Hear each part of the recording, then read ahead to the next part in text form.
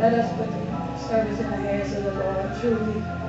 Hallelujah. Jesus is in this place. Lord God, I ask you, Lord God, have your way in this service on today. Lord, I put this service in your hands, Lord. Lord, I ask you to encourage and uplift your people on today, God. Lord, walk up and down these aisles, God, in the name of Jesus. Let us not leave off the way we came in, Jesus. Do something new in each and every one of our lives on today. Oh, God, give us all a broken and a contract spirit, Lord. Help us to break our wheels, break up our fallow ground, God. Lord, put us all on the fast, Lord, to seek you with all of our hearts. Help us to find you, Lord. Call where you're near, Jesus. Strengthen a man of God. Lord God, strengthen his companion, Lord. Lord, bless them. Lord God, all this week, Lord, bless us all, all this week. But Lord, right now, ask that you would bless the pastor, strengthen his mind and body. Lord, let him not ever compromise your word. Help him to preach the word of God. Oh God, Lord, with such a liberty, oh God. Oh God, was to pull on that word today, God. Do something in each and every one of our hearts today, God. Let not the devil take out anything you've sown in our hearts, Lord. Bring all things back to our remembrance. Lord, I ask you to answer those prayers that we have been praying for so many years. Let them be manifested this week, God. Meet the needs of all of your people, Lord. Let not one day go unpaid. Let not one bill go unpaid, Lord. Oh, God, in the name of Jesus, do something for us this week, God. Oh, God, give them a safe trip when they leave, Lord God. Going and coming, Lord, in the name of Jesus, oh God. We give you all the glory, all the honor, and praise. Come on, clap your hands Oh, hallelujah. Thank you, Jesus. Hallelujah. Thank you, Lord. I want y'all to help me sing. He set me free. He set me free. He broke the bonds of prison off of me. I glorify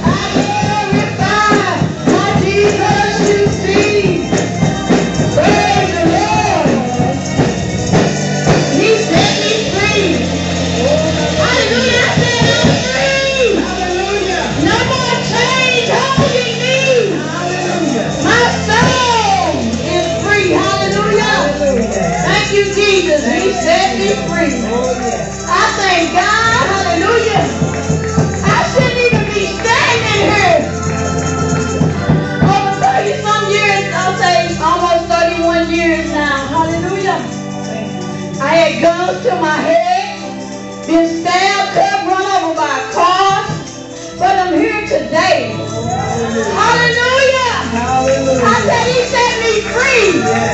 When I was selling drugs and using drugs, hallelujah.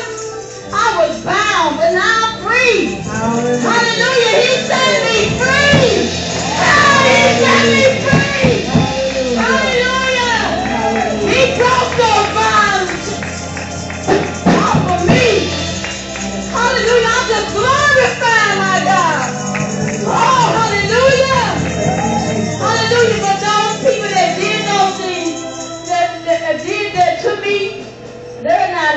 Talk about it. Hallelujah. Hallelujah. I tell you, I didn't know the word of God like I know the word today. Hallelujah. I just thank God. Now I know what he talked about when he said, I called you. I chose you. I ordained you. I justified you. I glorified you to do a work for me. And I said, Lord, I'll tell it everywhere I go. You know, a lot of people that, that I told some of them said, I don't care they cussed me and said different things, but but one woman said, I do what I, you know, she cursed me and said, but the same night her head got blown off. But I said, Lord, have mercy. Save her soul. But I truly, God, God is who he say he is. I said he is who he say he is. Hallelujah. He a keeper if you want to be kept. Hallelujah. I just, I just thank God. I love him so much. I said I love him so much. I love him. I love him. Hallelujah. Those of you all that may have a testimony, may give it to the glory of God. Come on, God been good to us. Mm-hmm.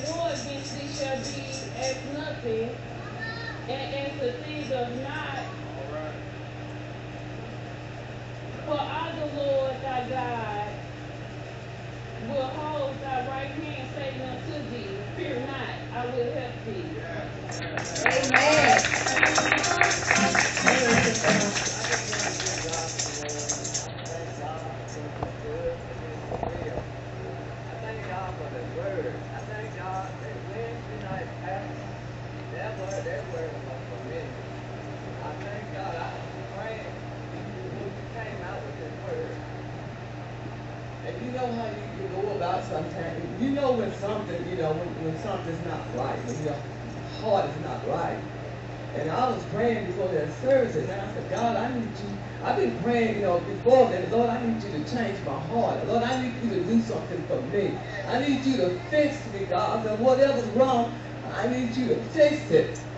And I just thank God for that word. When you brought that word for Wednesday night, that done something for me. Lord came in. He touched my heart. He fixed my heart. He, he healed that broken heart. He changed my heart. I can't explain it, but it was like that lady that, that, that had the issue of blood. She said if I could just but touch the hem of his garment, I know I would be made whole. And she felt in her body, when she touched his body, she felt in her body that that issue, you know, that, that, that it was gone, it was done. I felt in my body. I can't explain it. But the Lord done something for me that Wednesday night. He held my heart. He filled, he fixed my heart. And I thank him for it. I thank you for that word, Lord. I thank you for that word, Pastor, because that word was for me. And I have to give God the glory, the honor, and the praise. I can't explain it, but whatever he, whatever was there, he took it out. God, you know, he just, he healed that broken heart and he fixed it, he, he made it, he, he worked it out. And I just have to give God the glory, the honor, and the praise. I should have stood up yesterday and, you know, and testified yesterday. And I was contemplating on daughter, and I was waiting on somebody else to get up. And I sit too long. But I just give God the glory for what he done. I thank him for that word, because that word is powerful. God, he, he's, he's concerned, you know, he, he hear our prayers. And I thank him, you know, for healing my heart, for making me whole. I thank him for what he done. I don't know what else he done, but he done something for me. He touched me. He changed me. Hallelujah. He took away that heart of stone, and he gave me that was been my prayer. Lord, take away this heart of, this, this stone. Because I knew, hallelujah, that something in my, my heart wasn't right. I would hold on to stuff. I would try to forgive. Hallelujah. But even when I thought I had forgiven, it was something still there. But God had taken all of that out. He put a love down in my heart. He put compassion down in my heart. He's given me a heart he's taken given me a heart of flesh. And I just have to give God the glory, the honor, the praise for what he done for me. I can truly say, thank God I'm free. Hallelujah. Glory.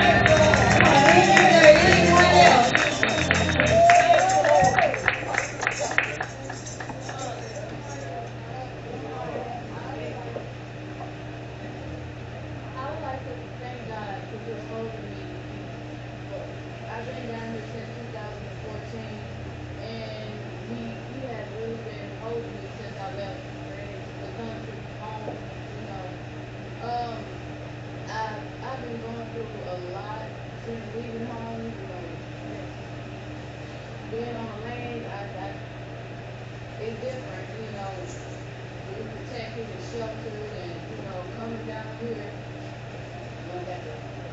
Um, but I thank him because the people that I even touched when I was down there, I was struggling spiritually, mentally, physically, emotionally, and the fact that I'm able to touch people, you know, to get them praying. My mom now, she'll be going Saturday to Farmington. Um, me and my sister, we right behind her, trying to make sure we get the other ones. But I thank him, um, my dad, he, um, The eighth, he had a stroke, and my dad is a strong, proud man, and to see my daddy in a position where he can't talk or move or nothing, he held him, he was in that state for like two days, from my understanding. Um, and I thank him, I thank him for holding my sister, Kyra. Kyra has been the anchor of all four of us, I guess I'm the oldest, but certain things that I, I'm not mentally equipped to handle. And I thank God for holding my sister Kyra, because she has been through some things, you know. And I thank God for holding this, my brother Anthony. You know, he left from up there too, and he's a hot mess. But I thank God for holding him in all his hot messiness and protecting him, you know, and I, I just want to thank him just for holding us. You know, I thank him for just introducing me to the word. My auntie Sarah for bringing us down to the, to the country down there where we understand the truth. We, we hear the truth, we, we, we love the truth, you know. I can't go to anybody's church, so I'm not even Pastor Michael, I can't go. Uh, I just thank all of y'all for holding us in prayer and, and, and just being here. And I just ask y'all to please help me with the mind to pray because that even, you know, that is even to have a mind to pray, that to wake up and want to pray and stuff. I wake up every morning at four and it's just like I sit there and I sit there and it's just like, Lord, I just want the mind to at least pray because that was something I used to always do and I just thank them for just getting me back here. You know, and I thank you guys for just loving me and just being here. You know, us at St. Louis, we need you guys. You know, I don't, how he know, held me with one a week, I don't know, but I thank him so much. Thank you guys. Anybody else? Thank the Lord for being here today. I'm gonna lay out the late. I'm trying to get here to get in prayer. But I thank God for prayer. And I thank God for being here. Uh, last week was really hectic for me. The kids were to school Monday. Now Tavion is in school now. Thank the Lord. Oh, Lord, thank the Lord. But I thank God for being here. And I thank God for healing power. I say, I think when we got back from Branson, I, I, you know, lately I have been, and it's been a while, about two, three years. And sometimes I just didn't say anything. Sometimes I'll be here just standing and be in so much pain on this left side. You know, they were saying carpal tunnel. You know, then they said pensioner. I don't know what it is. You know, but I thank God for prayer. I thank God for healing. And I noticed I be- began to be able to sleep in my bed. Because there came a time I wasn't, even, I wasn't able to sleep, sleep in the bed. I would have to get up in the wee hours of the morning, put a heat pad on me, just to get, you know, just to get some relief. But I thank God I was able to sleep. I've been able to sleep in my bed. That pain will try to come back, but I tell the Lord, you are not, because I know God is a healer. And I just thank God for that. I truly thank God for that. And you know, it's not only that. You know, we have to, I'm speaking about my, we have to live right. We got to be a doer of the word and not just a hearer, only deceiving ourselves. You know, the Lord had gave me something, and um, I don't, you know, He gave me something in a dream. I think He's been dealing with me with dreams lately. And you know, and it puzzled me. And I was like, the Lord told me in this dream, and I didn't want to say it, but I'm gonna tell on myself. You know, He said, if you will put away these strange gods from among you, then I'll heal you. You know, it, it's a time we have to obey God. I'm talking about me. Even, you know, it was a struggle to get up, get in prayer when the kids was out of school. And I'd be so sometimes going to bed. Take me out sometimes to go to bed at 2, 3 o'clock in the morning. Sometimes me and my husband be up with them. And sometimes it becomes so overwhelming. I'm telling you, the age I am, I'm 54. Not getting enough sleep, dealing with two kids, especially one. Energy just, I mean, I don't care what you do. This boy, he don't settle down. And I'm like, Lord, these kids are a different breed. They ain't the same no more. You know, getting up, getting them ready for school, ironing, washing. I mean, it, it, it's, it's a toll on me. But I thank God because He given me the strength. I mean, Lord, give me strength to do this. You know, because you raised your kids. Now you got to, you know, it, it's, it, it's just crazy to me. But I'm asking the Lord to get a hold of these kids. And I, I've been I've been in a place where I said, Lord, it's it's something more to this. You know, going to church, coming. I said something more to I don't know what it is, but I said, Lord, you help me. I want to come aside and get a hold of God.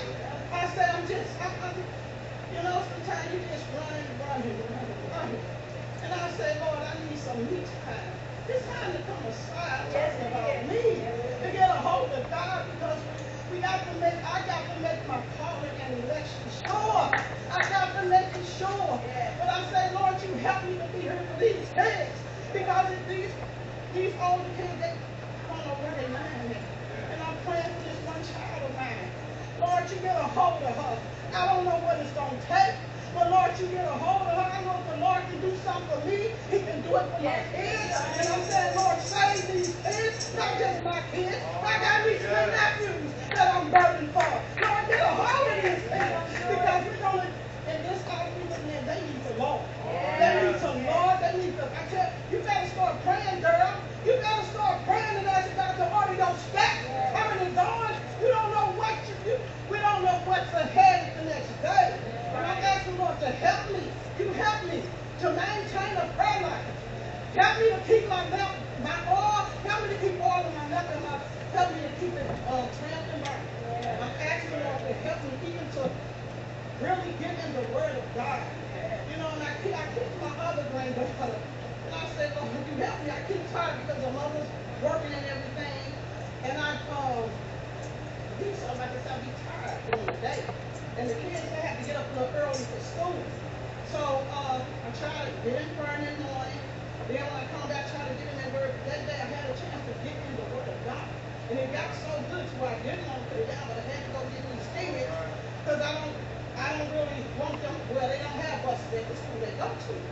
You know, so I just think, then I have to, oh Lord, get up, take them to, uh, walk these steps. I said, well, Lord, I need to exercise. You know, so, and I just be so tired in the body, but I know I need to bring this body under subjection to the will His spirit. So I'm just asking Lord to help me. God pray for me that I obey God, because I know it's more than just come to church and souls out here. And I said, Lord, you help me. Care if in the store, you help me to reach these souls. Even my nieces and nephews, you help me to reach them because, you know, they, they, they're souls. And I want to save. I know He knows I want to save. I want the Lord to save him. And y'all just pray that I obey God. I know it was up a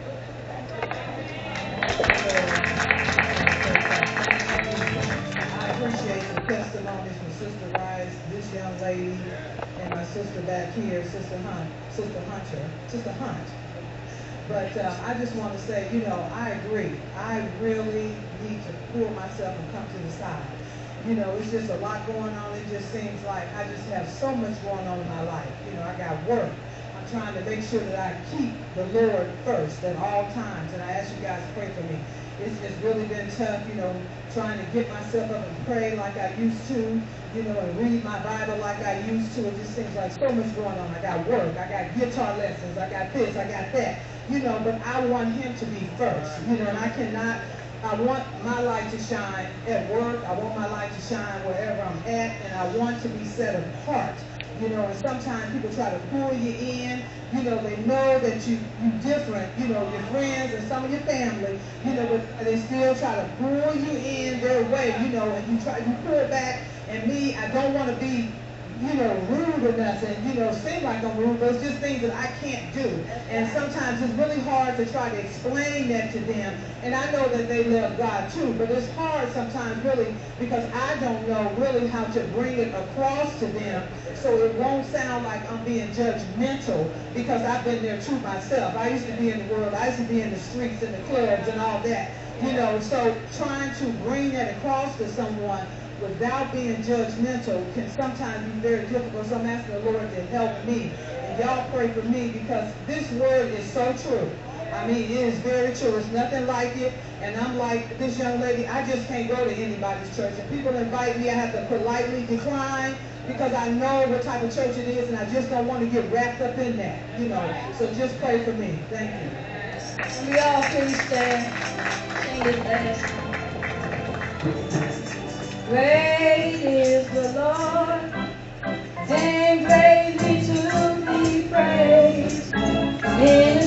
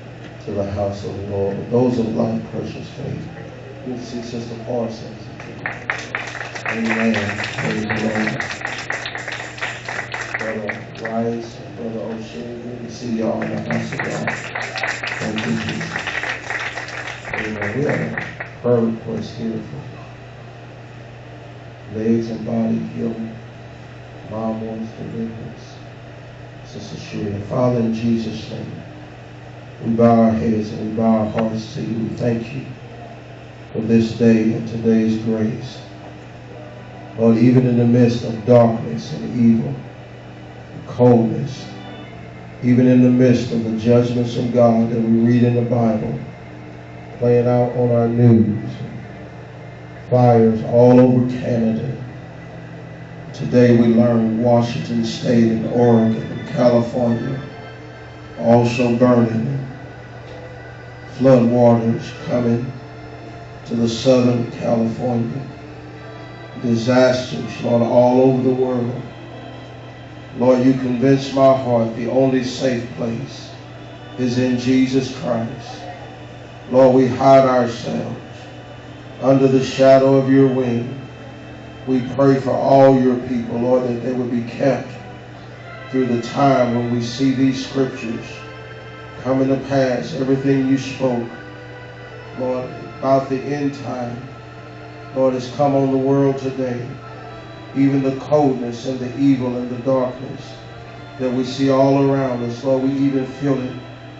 Lord, here trying to overcome these services, but put a fight in us and give us more grace. Lord, so many are casting away their confidence, but you said you would have a remnant and a people. We thank you for moving in the lives of your people, all the testimonies the scripture that was read, testimonies of how you're moving for your people. Lord, we ask you to bless those that cannot be here, strengthen Mom and Pop Smith, Sister Tawanda, Sister Triplet, Lord, heal and deliver. Meet all these needs. Pop Henderson, making his way out to the house of prayer. Brother Akon on today. Lord, we don't ever want to forget to pray for him. Lord, for his deliverance, for a miracle. Lord, he needs a miracle. We're asking you because you are a miracle working God all the sisters that were praying that's battling heart trouble, that you would strengthen their heart. Lord, we're asking you to stretch forth your hand in this hour, Lord, to meet your people. Meet these, Lord, that's settled in their hearts that they're not going to let you go unless you bless them. Lord, we know this Bible is real. We know your word is true. We know that Jesus Christ came to save sinners. Lord, and we believe in you to reach this generation.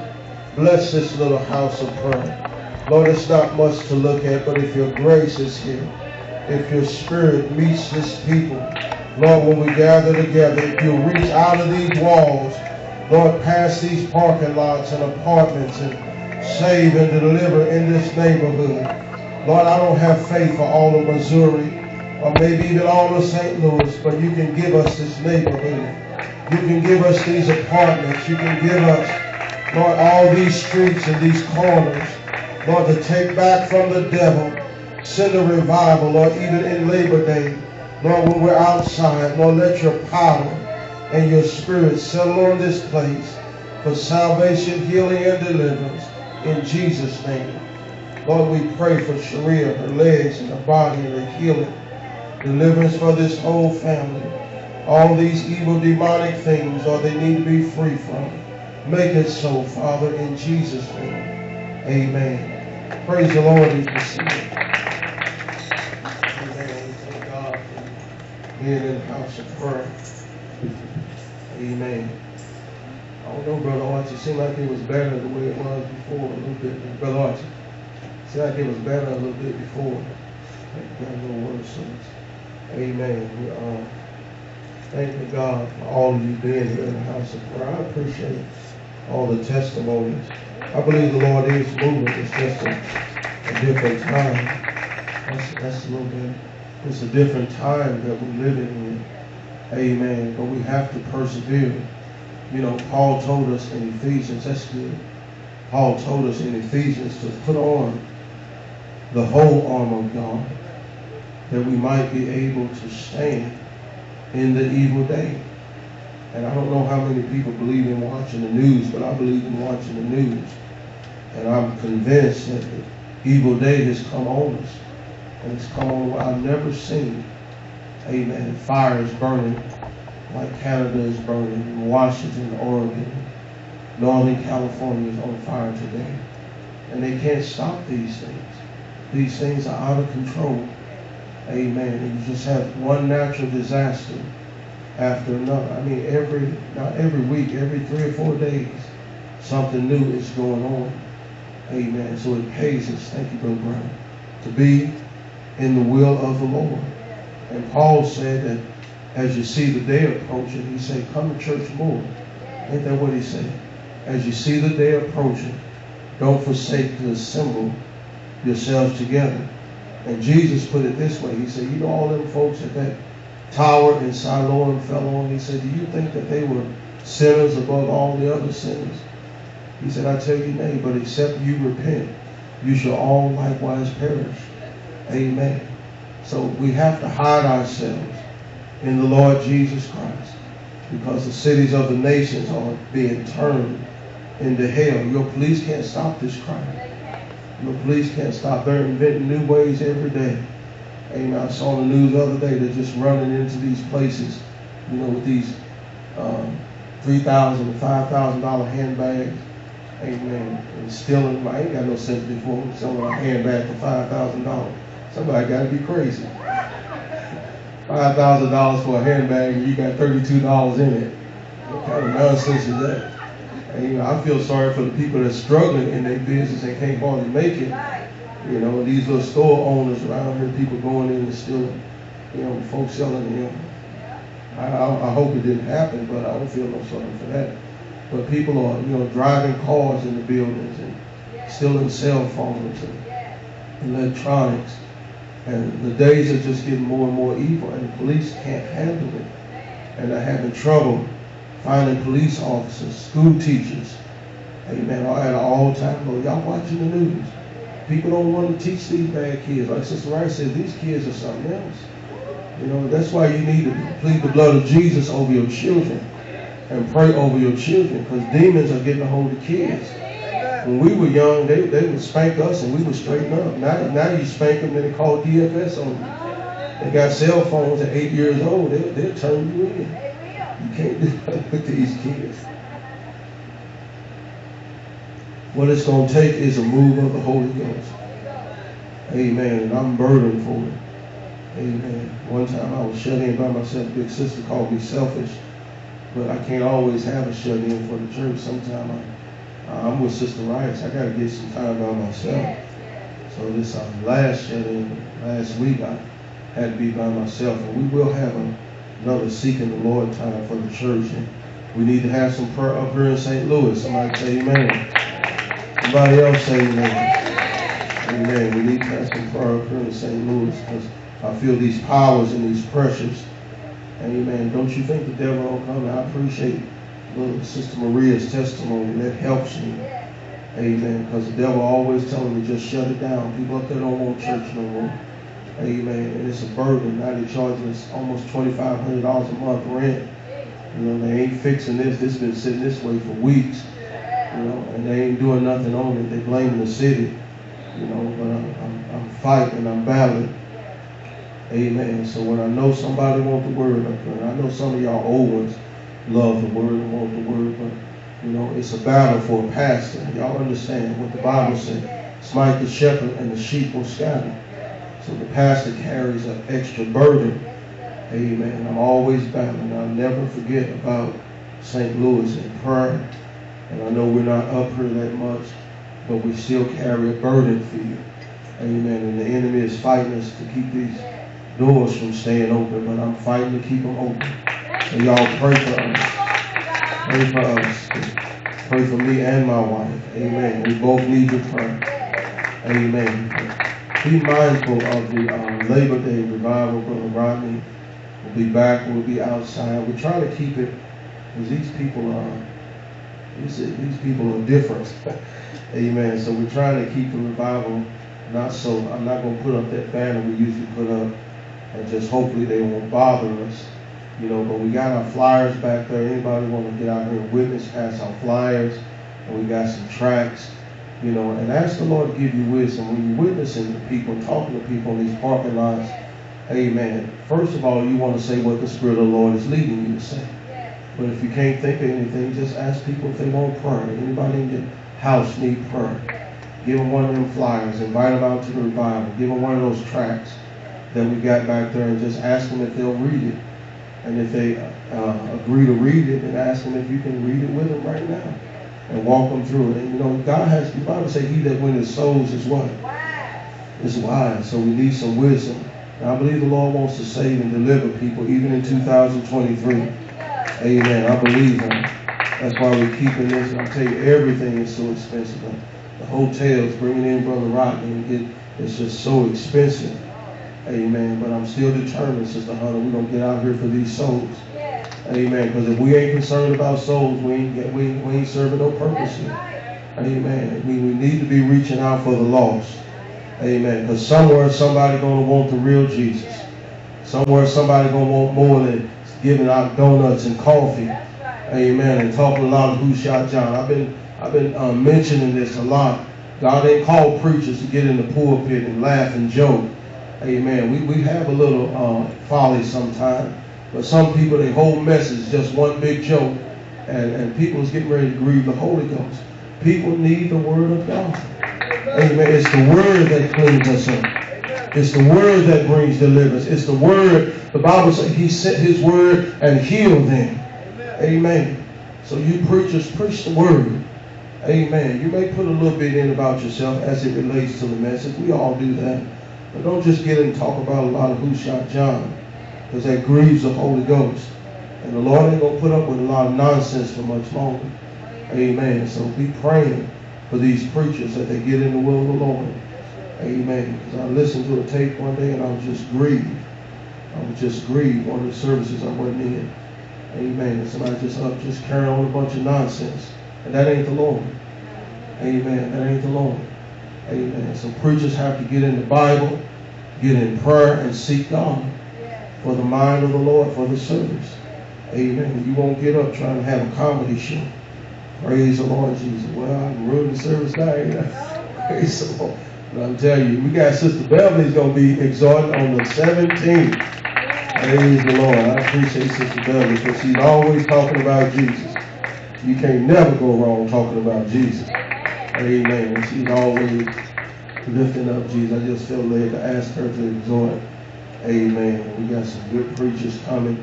If the Lord say the same, my wife and I will be headed for um, Dothan, Alabama, uh, fourth day on Wednesday. I'll minister down there for Brother Leonard. I uh, made the mistake of telling him we were planning on sneaking down there just to be, you know, the Lord is convincing me that it's more than just needing an apostle and a prophet over me, and I do need that. But I need to get out and be in church somewhere else sometime. You know, and I've been convinced of that. You know, because you get, you know, stirring in your own soup. You don't think there's nothing else beyond your soup. Sometimes you gotta, amen, trade in your chicken noodle for some clam chowder. Amen. Praise the Lord. Amen. So we're gonna just get away and get down there and be in some services and preach for him. And then we got, um, praise the Lord, on Wednesday night, Sister Debbie will be preaching. Amen. On Sabbath morning, Big Sister will be preaching. And then next Sunday morning, Brother Carter will be up here. So be praying for the services. Amen. And then also Sister Adonna's going to uh, minister on Friday night down in the country. But y'all be praying, amen, for these services and pray for us while we're traveling. Amen. Brother Ricky, I said somebody after service, Brother Ricky asked, are we flying? I told somebody all these comedians out of work when we trying to be one. Get on the plane. the plane. I'm driving. My sister was telling me yesterday about the plane caught on fire or something. What else you say happened?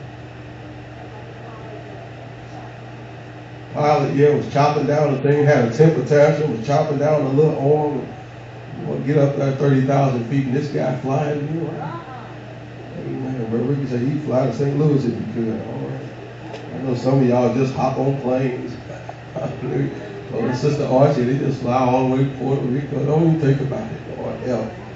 I, I want to have that kind of courage when I grow up, but I ain't grown up yet. Praise the Lord. I think I'd walk before I fly. Amen. I, my, my, wife said I'm going to get on a plane one day, but not this trip. Amen. We are driving. Praise the Lord. But one of these old days. But y'all pray for us, and we're just so glad to be in the house of prayer on today. Sister Hannah, how you feeling? Very good. All right then. Amen. Nina, you doing all right? All right then. Praise the Lord. And we're so glad to have Sparta in the house of prayer. Amen. Did uh, Kenny just have a birthday a few weeks ago? Amen. We missed that. I should have called him. Amen. But let's go into the scripture on the And we want to talk to you what we feel that and We're just really feeling the burden of people.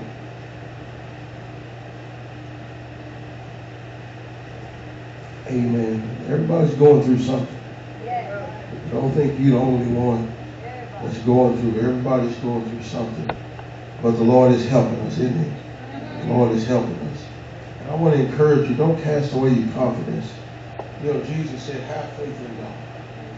Faith in God. The Lord's going to bring you through the other side of all this that we're going through. You know, and people right now are losing faith in God. That's why Jesus told us you know, over there in Luke, when the Son of Man comes, shall he find faith on the earth? Amen. That's good. Did you do something or do it on his own? Okay, that's good. Shall he find faith on the earth? Because people are losing faith in God. Faith is the victory that helps you to overcome this world. And the most valuable thing you have right now is your faith in God. I don't care if you got a million dollars in the bank, you're better off having $32 in faith in God than having a million dollars. Amen. It's a valuable thing to be able to look up and know it's something. Amen. Know it's somebody watching out for your life. Know it's somebody that cares for you. Amen. And is able to help you. Praise the Lord. Amen. So we want to talk on these lines a little bit today. Let's go all the way to the Old Testament. If you have a Bible, if you don't have a Bible, we got some that we can lend you or we can give you if you want one to take home. Amen. We want everybody to have a Bible to read. Uh, a paper Bible, not an electronic Bible. A Bible you don't have to recharge. My Bible is charged 24-7 and I don't ever have to plug it in. It's got the Holy Ghost flowing through it. Amen. I know I probably shocked some people yesterday, but you need the Spirit of God with the Scriptures. Because the Scripture by itself, amen, don't breathe life. It has to have the Spirit in it. Is that right? Amen. Go ahead, Mama Rosie. Help yourself. Somebody else read the Bible. Amen. Oh, don't do that. Okay, that's all right. We'll work on this. Praise the Lord. Let's go to the book of Exodus. Amen. All Brother O'Shea. Get two or three, pass them out. And have this young man in the service. You're in the right place. Exodus, the third chapter. All the way. Second book of the Bible. And don't feel ashamed if you don't uh, know how to read the Bible, if you don't know how to find these chapters. I first came to church I was 12 years old, got saved when I was 14. Started reading the Bible and didn't know nothing about it. Didn't know God from Jesus, from Lord, from Savior, from nothing. I mean, nothing. Amen. But I kept reading the Bible and kept coming to church. And Jesus slowly began to reveal himself to me. Amen. And he'll do that. So don't feel shame if you have to keep looking for the books of the Bible. Because a lot of people, some folk been saved a while, still have to look for them. Praise the Lord. Amen. So don't feel shame. Amen. Exodus, the third chapter. And this is the Lord come down and talking to this man of God out of a burning bush, talking to Moses. And he is sending him back into Egypt to pull the slaves out of Egypt by signs and wonders. And he says here in verse 7, And the Lord said, I have surely seen the affliction of my people which are in Egypt, and have heard their cry by reason of their taskmasters, for I know their sorrows. Let's go all the way to the New Testament, to the book of Romans. Romans, the eighth chapter.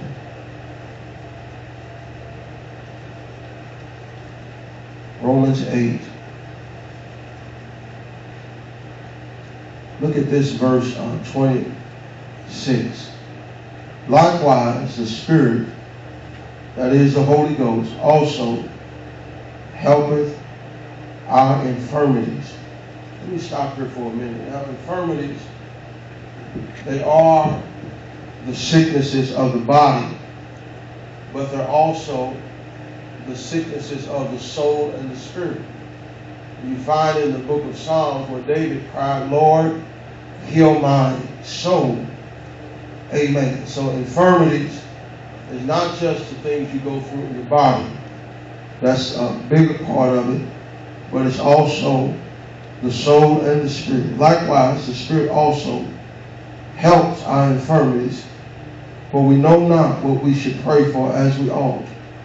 But the Spirit itself maketh intercession for us with groanings which cannot be uttered, and he that searcheth the hearts knows what is the mind of the Spirit, because he maketh intercession for the saints according to the will of God. Let's go over here to Hebrews, the fourth chapter.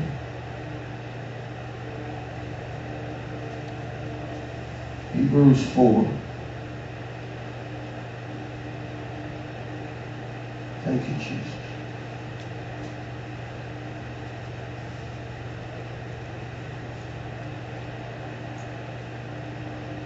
Let's just read this, um, these two verses, 14 and 15.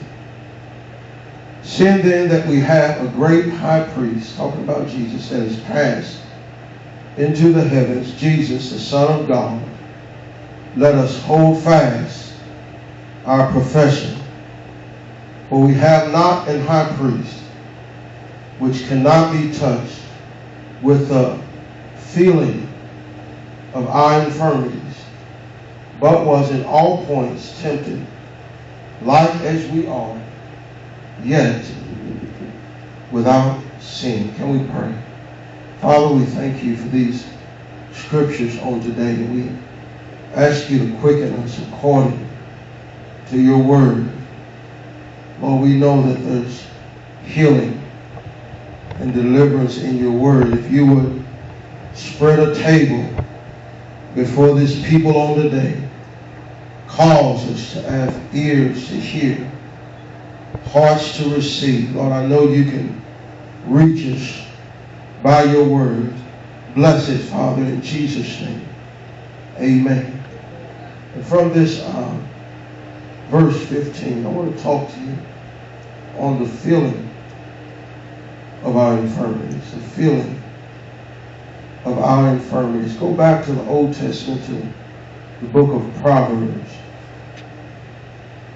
Book of Proverbs, the 18th chapter. Proverbs. Look at this verse um, 14. The spirit of a man will sustain his infirmity. Two separate things. But a wounded spirit who can burn. I already described to you that infirmities is more than just what happens to you. It's more than just what happens to your body. And let me talk to people who's been through some stuff in their bodies. You know, the devil came to God and said, uh, you got a hedge around Job. Job is serving you for naught. And the devil said, well, let me attack everything about him and he'll curse you to your face. And so he took all Job's wealth, his animals, his camel, his cattle. Amen. And still Job maintained his integrity. So the devil came back around again and said, skin for skin. All that a man hath. Amen. Let me touch his body. Amen. And out of all the trials that you can go through, the one that affects you the most, and the devil knows this, is when something happens either to your children or to your body. And when your kids is in trouble, that's a whole different kind of a burden you carry. Amen. And when your body don't act like your body's supposed to act and you start going through like Sister Rice was testifying and you can't get no peace in your body, it will eventually start affecting your spirit, whether you know it or not. Am I right, brother Boy? You know about going through in your body. Amen. So the Psalm, the, uh, Solomon tells us here in Proverbs uh, two separate things. He said the spirit of a man will, if you can accept my interpretation, because I know it's right, will sustain him when he's in sickness. When you're going through, even uh, old doctors would tell you that it pays to have a good spirit when you're going through your sicknesses. Amen. The Bible even say a merry heart does good like a medicine. And if your spirit can stay up, that's why the devil wanted to touch Job's body because he know if I touch his body, amen, I can get his spirit. And if he can touch your body and get your spirit, this is what the devil counted on, he'll curse you to your face. Because when you start going through your body, it will affect your inner man. You may try not to let it affect you, but it, it's going to weigh on your mind. It's going to weigh on your spirit. That's why the psalmist, that's why he says here in Proverbs, amen, that a spirit of a man will sustain him while he's going through his sickness. But then he took it a little further and said, but a broken spirit, who can bear it? That when your body is going through and all of a sudden your inner man gets attacked. It, it wears on you. The devil starts talking to you about who God is and who God ain't. But my God is still the Lord that heals. Even though it seems like God ain't healing us as fast as we want to be healed. He's still the Lord. Amen. His stripes still heal his people today. The devil wants us to cast away our confidence. Amen. But we got to have something on the inside that says, though he slay me, yet will I trust him. I know my Redeemer lives, and he's the same yesterday, today, and forever. What's going on? Even though your body is going through, your spirit man is still standing up strong, and it'll sustain you in your infirmity. But he said, a broken spirit, man, you, you can't hardly get nothing done when your inner man is torn down. And it's people that their bodies are still healthy, but they're still living in some kind of depression. There are people depressed, don't know they're depressed. Even though your body is healthy, the devil still got some kind of weight on you. That's why Jesus in Acts 10, he went about doing good, healing all that were oppressed of the devil. You may not be oppressed in your body, but your mind can be going through, and sometimes that's worse than your body. Oh, hallelujah, Jesus. Amen. So he said, the Spirit of God helps our infirmities. Because sometimes you got something wrong with you, you don't know what's wrong with you. You just know, God, something ain't right about me. Something ain't right in my heart. Something ain't right in my life. Something ain't right in my circumstance. And if you got the Holy Ghost, the Holy Ghost will begin to pray through you and make intercession when you don't know what to pray for. Amen. Yes, it will. It is the Spirit of Jesus Christ. It is, amen, the power of God living on the inside of a man or a woman. And it'll diagnose you because the Spirit searches all things even the deep things of God. The Holy Ghost down on the inside of you knows what's going on when your doctor can't figure it out. Everything that you go through in your body ain't your body. Sometimes your body going through because your spirit ain't online. Oh, hallelujah. You get your spirit right and your body gets healed. Oh, hallelujah. Sometimes you're sleepy and tired, not because your body, your spirit gets weak. Amen. You go into depression and you'll stay in the bed for three days. Won't even brush your teeth. Lord have mercy. Amen. Spirit gets you going through. Amen. So God had to send a remedy for our outside man and our inside man. Hallelujah, Jesus. There's people right now. I can feel this burden. One o'clock in the morning. Just way down under what the devil is doing to you. Amen. Way down. Amen. Under the pressures. And, you know, people look at your life and think, well, they got everything together. You don't know, amen, what's going on in somebody's heart behind. They may look like they got it all together at church. Amen. Fall apart when they get home. People is under pressures right now.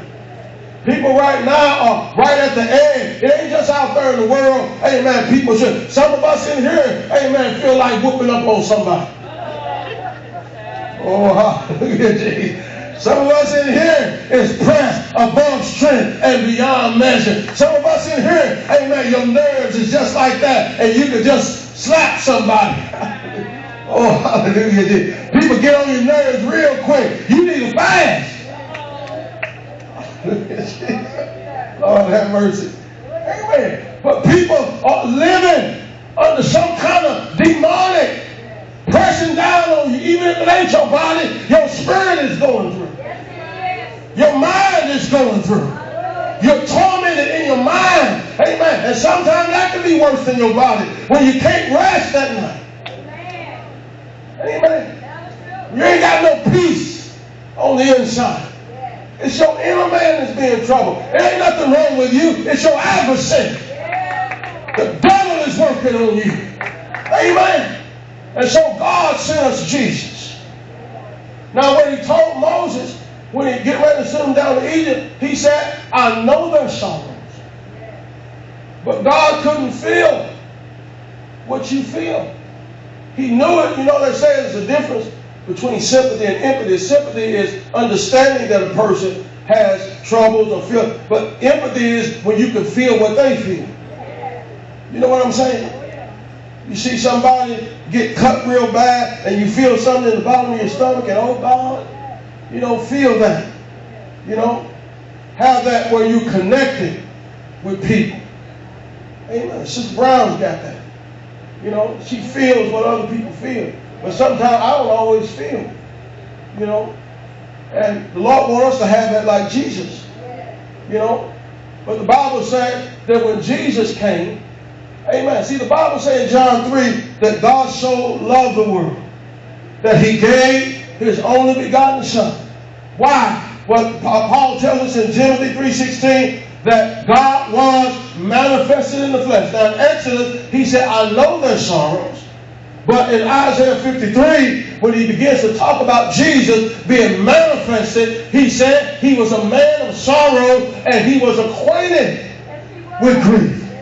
Paul describes him as a high priest that doesn't just know what we're feeling, but he is touched not just with our infirmity, but with the feeling of our infirmity.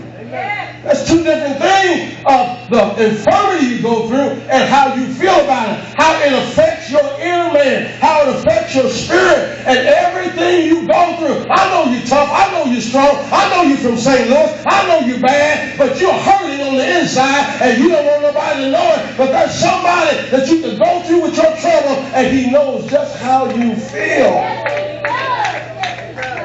You know why you're so lonely? Because you can't describe to somebody how you feel. And you talk to this one and you talk to that one and they don't feel what you feel and they don't have the right kind. But there's somebody you can go to.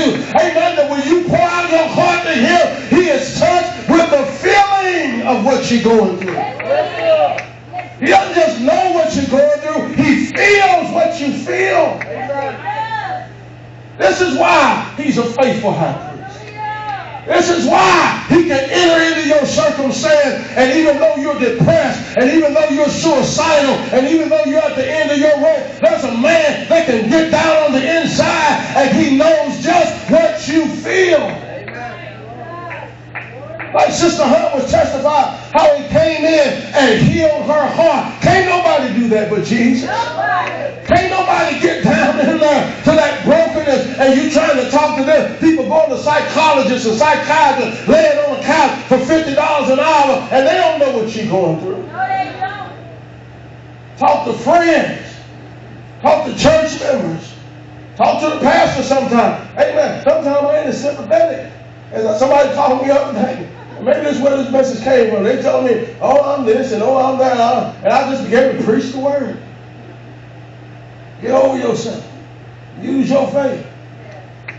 But you know, sometimes people just need you to hear them. Amen. Don't be so quick to throw out scriptures to people.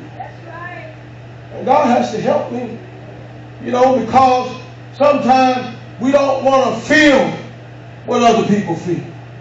But see, the Bible says, rejoice with them that rejoice and weep with them that weep.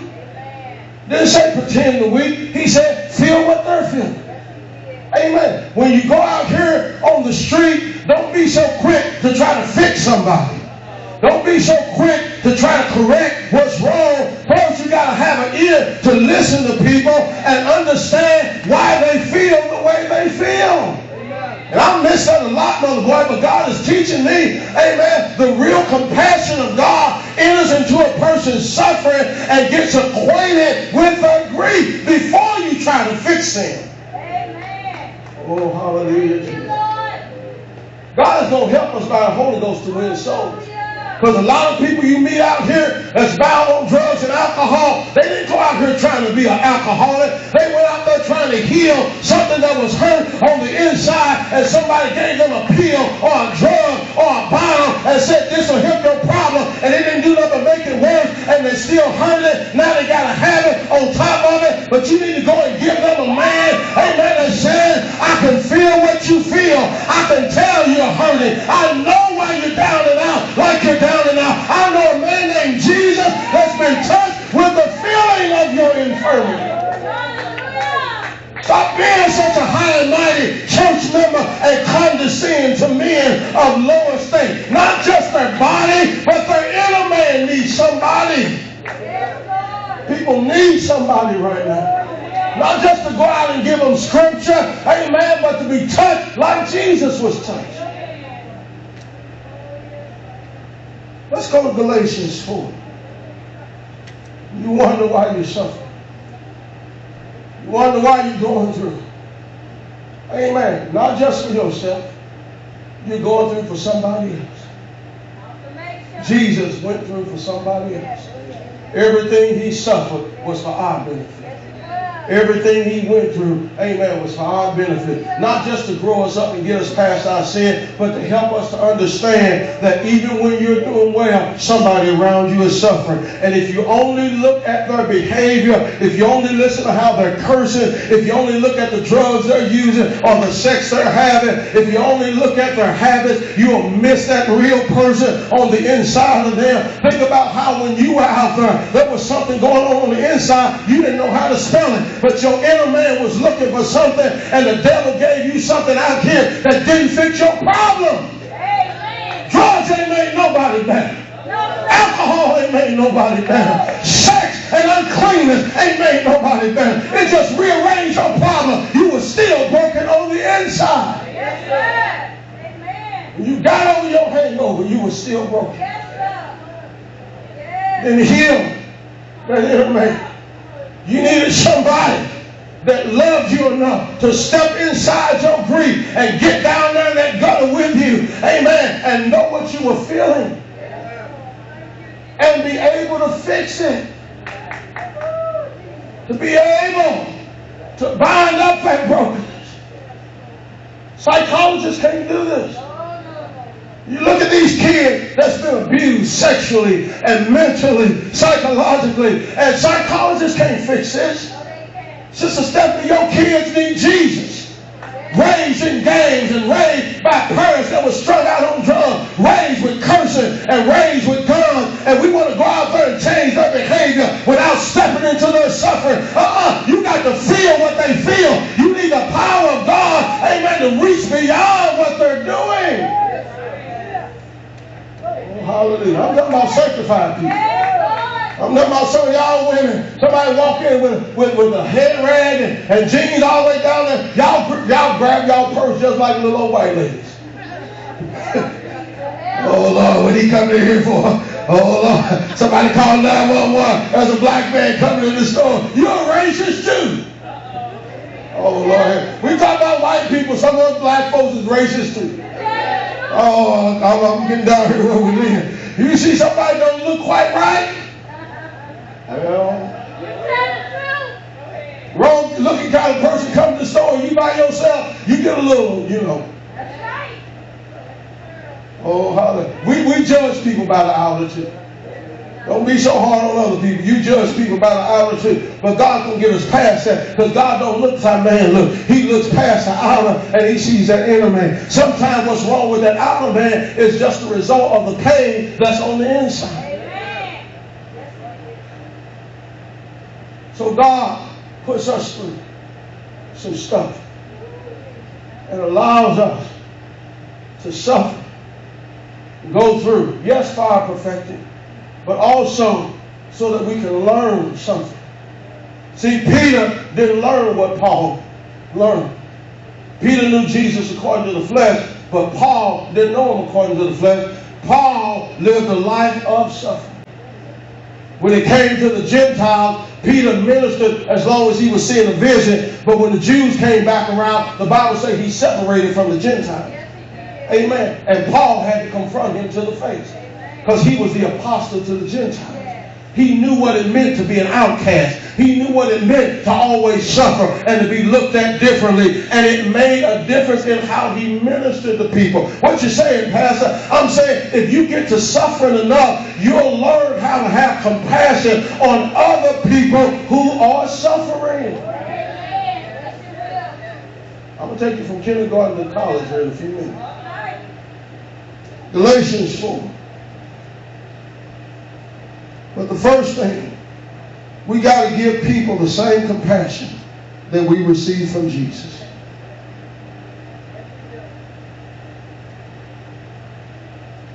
It takes the love of God.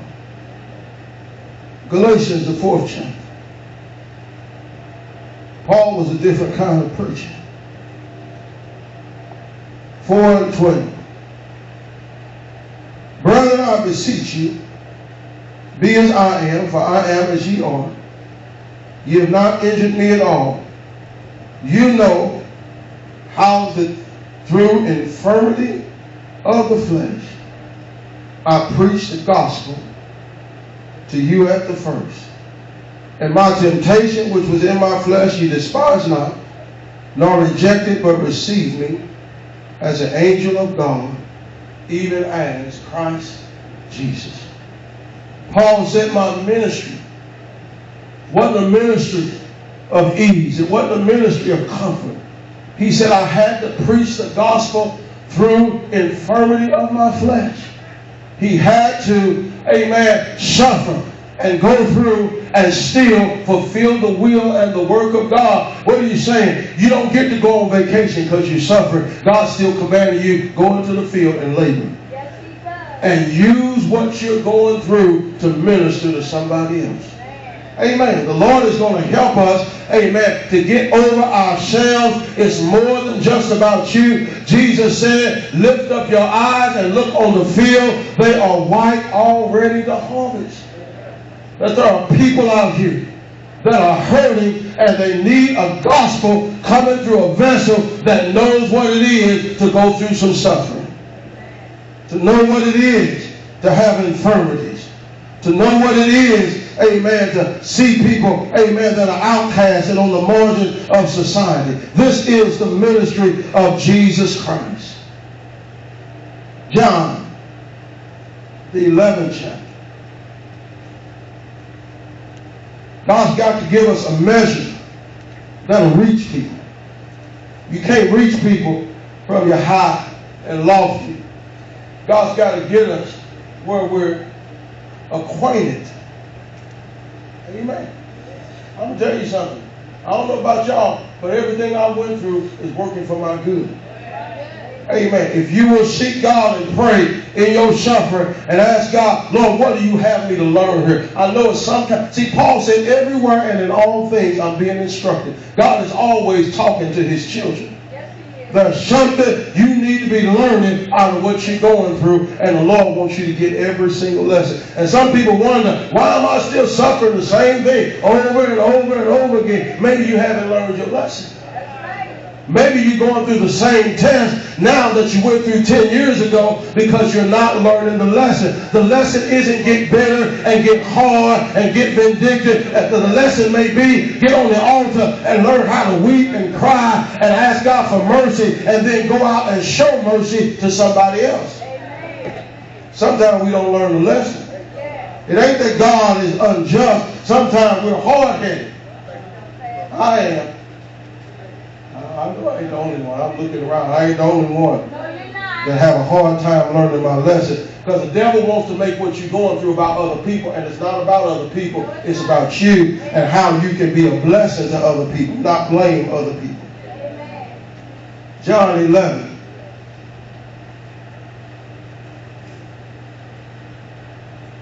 He's going to give us a measure to reach.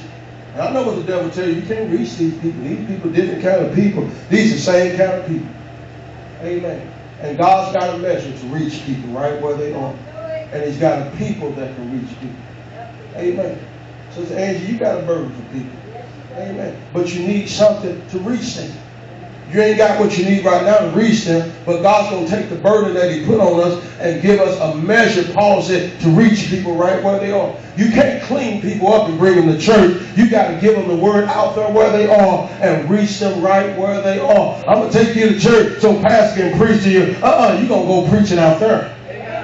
Everybody ain't coming to church. And those that do come to church may not be coming to this church. Take the word to people right where they are. Minister to people right where they are. Get down in the gutter. Don't be like that priest. Don't be like that Sadducee. Look at the man in the gutter. Be like that good Samaritan to get down where they are. I can feel what you're feeling. That's why you got to give to homeless people sometimes. Not all the time, because there's some crooks out there, but there's some real people out there that's hungry. It's some real people, and if you just completely shut down and say they're all crook, it's gonna sound. You got to recognize somebody has a real need, and somewhere you need to be given to somebody, sometime, and not just you, yourself, and I. Am I telling the truth about it? God didn't ever call us to get up in a church and forget about a lost and dying world. There's people out there, and you got what they need. Amen. Jesus was what I needed for my soul. Still what I need. Everything that's wrong with me, Jesus is the remedy. Amen. Let's go over here to John 11. Now, what did Hebrews say? We have not a high priest which cannot be touched with the feeling of our infirmity. Look at this John 11 35. Shortest verse in the Bible. Jesus wept. What are you weeping for? You're not weeping for Lazarus. He knew Lazarus was going to die and be resurrected while he was still sick. He's weeping because he feels all this burden around him that they're weeping. They're weeping needlessly. When he went into Jairus' house, he said, Weep not. The maid is not dead, but sleeping. So they're weeping needlessly, but because he feels, because he is acquainted with grief, he can't help but weep too. Because it's not just their infirmity, it's the feeling. He feels what they feel. Let's go over here to Matthew. It's going to shift it real quick. And then I'm going to let you know. You have to allow Jesus to come in and minister to your brokenness, what you're feeling because of what you're going through. Now, I read you Proverbs. You can make it through what you're going through as long as your spirit stays okay. But when your spirit gets broken because of what you're going through, you start going down. The Lord have to, even though He don't change your circumstance, He has to fix that inner man. And some circumstances, just like Paul in Corinthians 12, when he sought the Lord to remove that thorn in the flesh, the Lord didn't take away the thorn. That's why he said in Galatians, I preached to you through these infirmities, but the Lord gave him grace and said, My grace is sufficient right where you are. Keep on learning what you're learning, but I'm going to give you grace. I'm going to fix your inner man. Even though your outward man circumstance hasn't changed. Let's go over to Matthew 14. Look at this man of sorrows, acquainted with grief. Somebody get for me real quick Hebrews, the fifth chapter, verse 1 and 2. I'm going to read this Matthew 14. There ain't nothing wrong with you Jesus can't fix. That's right. Well, there's something wrong with you. You ain't like other people. Other people ain't like other people. Oh, Stop comparing yourself to other people. You think they got it all together. They ain't got it all. It's people living in million dollar houses. They ain't nothing but a wreck. Ain't nothing keeping them going but alcohol and duct tape. Oh, my God. One of alcohol and duct tape, they fought. I mean, lawyers. Y'all read about this Brown and Brown lawyer? The brother jumped out of the window, killed himself. These people on TV, these people probably earning millions. dollars. It, it ain't how much money you got. Some people that look like they got it all together, they're a wreck on the inside. Yes, sir. And don't you think that your life is worse off? It's going to take Jesus for us all to make it through what's happening to the world right now. It's going to take somebody that knows how we feel and will. Sometimes you know how people feel, but you don't want to get your hands dirty. I don't mind. Oh, hallelujah, Jesus. God's going to help us get past being standing on the sidelines. Oh, hallelujah, Jesus. God didn't call you as a spectator. You have to get in there and get involved. But people, I mean, every single one of us. Whose life are you getting involved with? How are you inconvenienced by somebody else? When you would take care of yourself. I'm asking you this question. How is somebody else's life getting you out of your own circumstances? This is what compassion is about. This is Jesus over here in Matthew, the 14th chapter. When Jesus heard of it, what did he hear of? He heard that Herod had killed his cousin, John the Baptist. The only other man out here lifting up the truth, just him and Jesus, only two out here lifting up the truth. And now John the Baptist has been beheaded. Don't you know that affected him? Don't you know that did something to his heart when he heard that? When he heard of it, he departed thence by ship into a desert place apart. What does that apart mean? He wanted to be alone by himself. I'm hurting. You ever hurt so bad you didn't want nobody? Yeah. They couldn't nobody help you. They couldn't feel your pain, your grief. They couldn't step inside of it. And they tried to say words, but them words couldn't reach you. And sometimes you just wanted to be by yourself. Oh, y'all ain't going to say amen today. Amen. This is what Jesus was. It hurt so bad that his mission was to seek and to save that which is lost. But for the right now, he wants to be by himself. And when the people had heard thereof, they followed him on foot out of the city.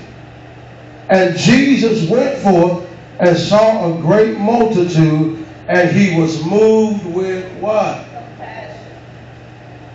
Toward them, and he healed their sick. You know why? You know why he was able? You know why he was able to get over his own feeling of grief?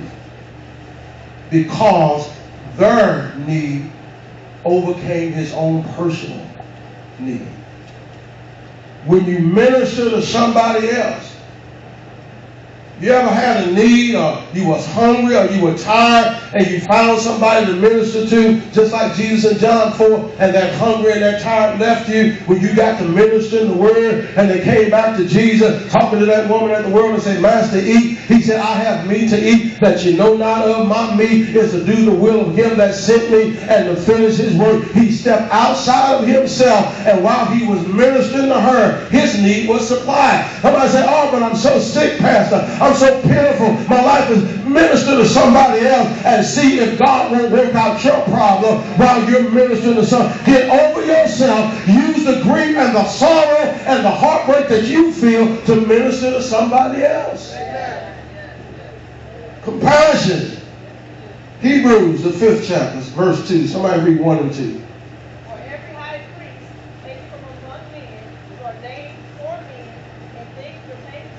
Uh-huh.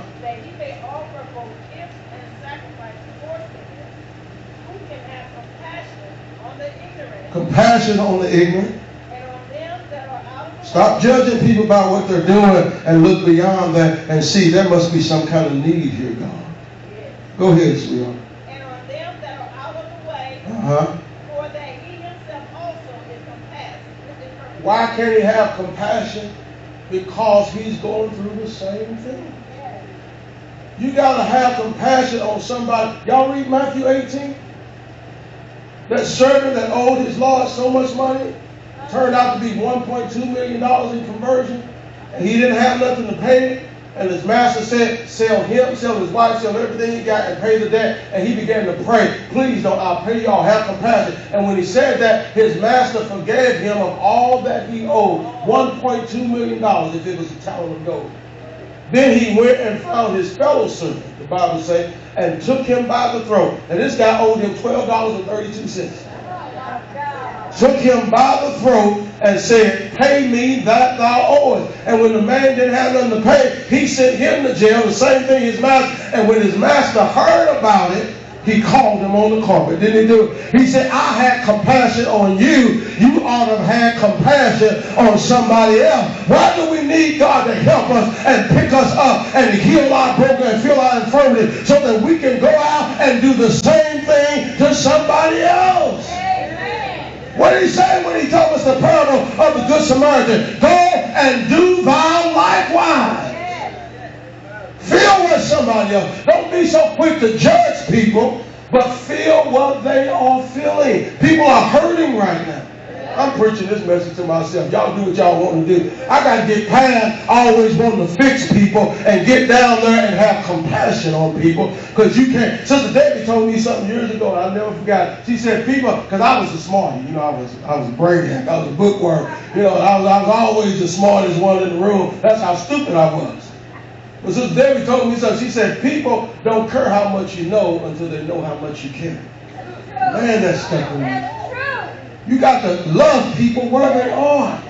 You got to be willing to step into their circumstance just like Jesus and be touched with the feelings. Stop trying to fix them. Amen. You need to do this and you need to do that. I'm mad about that. Amen. But first get down there where they are and understand why they feel the way they feel. It might not be as easy a fix as your flip mouth is telling them. Amen. I've given people flip answers. Get over it. You tough. Use your faith. Uh-uh. Sometimes you got to get down there and cry with people. Job's friends came to him and they sat for seven days and said nothing. Just sat with him in his grief. Y'all, y'all understand it? What I'm saying here, compassion will move you for somebody other than yourself. It's time to graduate. You need the Lord to help you, but then you need to turn that and go help somebody else. You take all that the devil has done to destroy you and use it to have compassion for somebody else. Amen. Let the Lord heal your broken heart. Because the devil wants you to sit there in your stew and woe is me and woe is me and oh poor me. Don't somebody understand? Somebody will step into that grief with you. Somebody will heal your brokenness. Somebody feels what you feel. Somebody's acquainted with your grief. You got to let him in there. You got to invite him into your grief and say, Lord, help me. You may not have words to put to it, but if all you can say is, Lord, have mercy. The devil's trying to kill me, telling me to blow my brains out, take a bunch of pills that I'll never come out. Lord, help me. And he'll reach down in the midst of that and pull you out of that. And then he'll say, go help somebody else now. You can't help somebody if you're in the ditch yourself. You need the Lord to pull you out. But when he pulls you out, he's pulling you out for a purpose to go help somebody else. Lord, have mercy, Jesus. Take all of that that you want to stew in and cast that on the Lord. Somebody knows what you feel. Let's go to First Peter. I got to let y'all go, but I'm telling you, amen, God is raising up ministers to get out here. I ain't talking about just with a microphone on the street corner. I'm talking about finding people one on one and getting down there, getting your hands dirty, spending a little bit of your money and putting something into somebody else because the Lord has led you with compassion to reach this person. People need help right now. Amen. And don't try to change them right off. Amen. If they naked, clothe them. But don't try to change everything about it. You need to take off your earring. You need to take off this. Leave people alone and let them get healed first. Amen. Well, I want you to know how holy I am. They don't care. they don't. they need Jesus. When you read the Gospels, Matthew, Mark, Luke, and John, the only people Jesus ever rebuked were church people. He never rebuked sinners. The only thing he would say to sinners is go and sin no more. Or he would tell them what they're doing wrong, but he never chided them. He never rebuked them. He never reproved them. He never reprimanded them. He always met them with compassion. Didn't look down on them. First Peter 5 and 7. Lord, help me get over myself. You know what Paul told one bunch? Have you suffered so many things in vain? If I'm going through, I want to learn something from it. Amen. If I'm receiving compassion, I want to learn how to give compassion. But you can't give compassion until you let the compassion of the Lord heal your broken heart. And he'll bind up your brokenness. And then Peter says, 5 and 6, Humble yourselves therefore under the mighty hand of God that he may exalt you, pull you up out of that. Amen. In due time. You may have to suffer a while, but you're going to come out of it. in due time, casting how much of your care? 100%. Most of us ain't got past 60%. We still carrying stuff he told us to cast on him.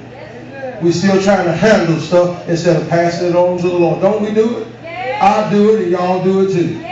Trying to work stuff out, trying to make stuff right. Some things you can't handle, you just have to pass it on to the Lord. Lord, you handle this. I can't do it. Amen. Let me go back to Romans 8. Let me go to Galatians 5 real quick. Galatians 5. He knows how you feel. He wants you to know how others feel. Help me, Lord. I want to win the loss. And I want people to come to open door, but if they don't, that's fine. It's Jesus you want people to come to.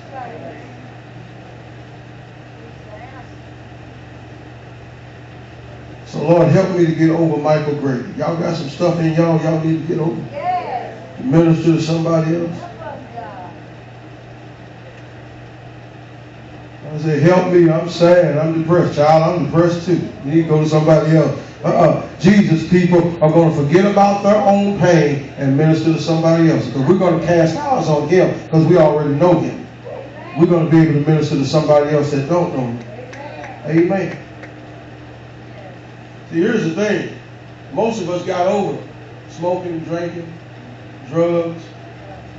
I said most of us. you know, got over chasing whores and all that. But we still got to get over our feelings. What we go through. Let me say this. Saved people cannot be emotionally unstable. You go on your job, you don't get to go on your job having a bad day, grumping, slamming the doors, mad at people, won't speak to nobody because you had a fight with your husband or your wife. You don't get to do that. You are an ambassador. Even if you had a fight with your wife, when you show up among the sinner, amen, you let all that go. I'm here even when I ain't talking to nobody. Don't you know they're watching you even when you ain't talking to them? They're looking for that light to shine out of you. They're looking for something from your direction. They're looking for something in you to say everything's going to be all right. Amen. Amen. Patricia's in the building. Brenda's in the building. Amen. Sister Nita's in the, They're looking to feel something. They feel something from you even when you don't say a word. Jesus said you can walk in a house and say, I'm taking my peace and I'm putting my peace on this house. Oh, y'all don't know what you got in you. Y'all don't know what you got on the inside because the devil got you all bogged down in your feelings. Uh-uh. Cast all that junk on him and crucify your flesh with the affection, not just the love, but the feeling. Yes, sir. Oh, hallelujah. He wants to take all of that. See, we want him to take away the infirmity, but sometimes the things we're going through are going to last a while, but he'll take away that that thing don't get you depressed. He'll take away the feeling of it. Oh, hallelujah. Amen. Somebody say, how can you have victory when everything in your life is turned upside down? Because the joy of the Lord is my strength. Because there's peace that passes understanding. Because greater is he that is in me than anything that's out here in this world. I got a whole kingdom living on the inside so I can cast all of my care. Oh, hallelujah. Oh, hallelujah. I'm getting over the feeling of my infirmity because he takes every bit of it. You got to set out the garbage. Garbage man don't come in your house collecting garbage. You got to put it out. You got to put it out on the curb and say, I don't want this no more. See, that's what you do when you get in prayer and you start opening up, amen, and saying, Lord, this is how I feel. Amen. And I had a fight with this one, and my wife don't understand, and I'm upset about it, and my heart is hurt. All my, all my church people don't understand. All my relatives don't understand. Mama, brother, sister, daddy don't understand. But I'm hurt. I'm mad right now. I want to slap somebody. I want to stop going to church. I don't want to do, I want to go out and get drunk. You bring all of that, and don't just sit on the altar and say, mmm, mmm. Uh, you better open your mouth. That's how you cast your care. You expose that garbage to daylight and say, Lord, here's all my garbage. I'm putting it out on the curb because I want you to take it away. Lord have mercy. Am I making sense? Am I speaking English? This is how you get over this stuff. Devil wants to keep it all locked inside. You tough, you strong. No, you ain't either. You're a weakling. Your only strength is in Him. Be strong in the Lord and the power of His might. Your spirit may be willing, but your flesh is weak. Flesh can't do this by itself. I need some help. I need somebody up there who knows what it is to feel what I feel. And I'm going to take all this going, I'm putting it in His life, and then I'm going to go minister to somebody else. Galatians, the fifth chapter.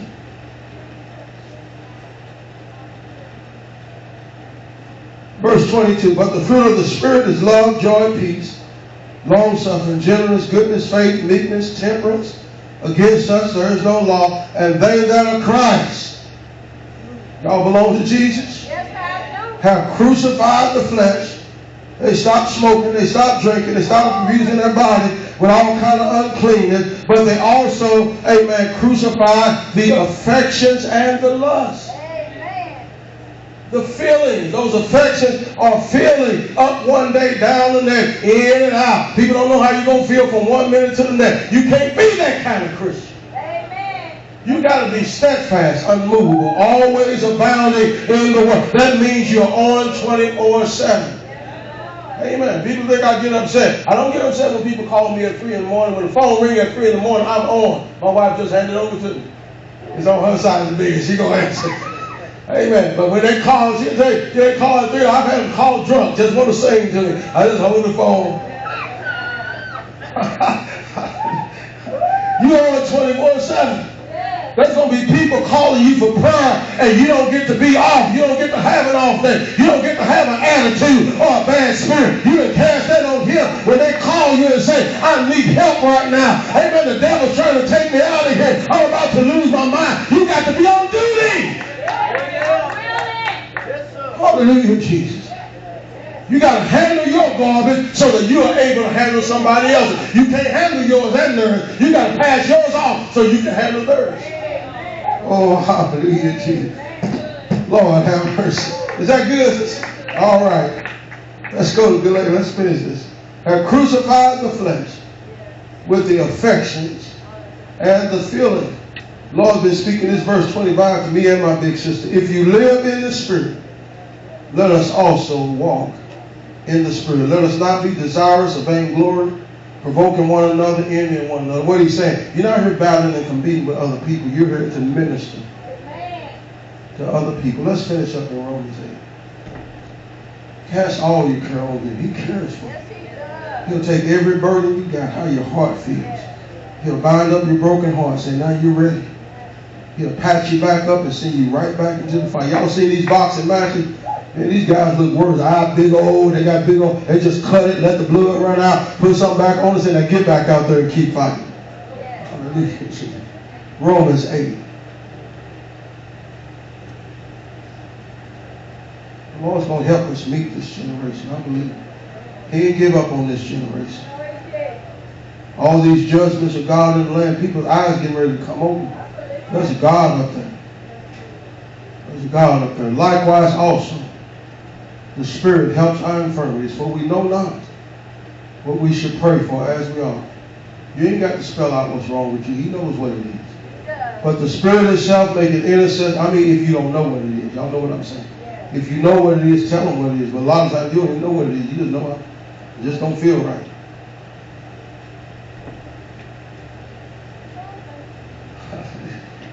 I'm thinking about my wife. Lord help. In the other room. Ow! Ah! Honey, what's wrong? Nothing.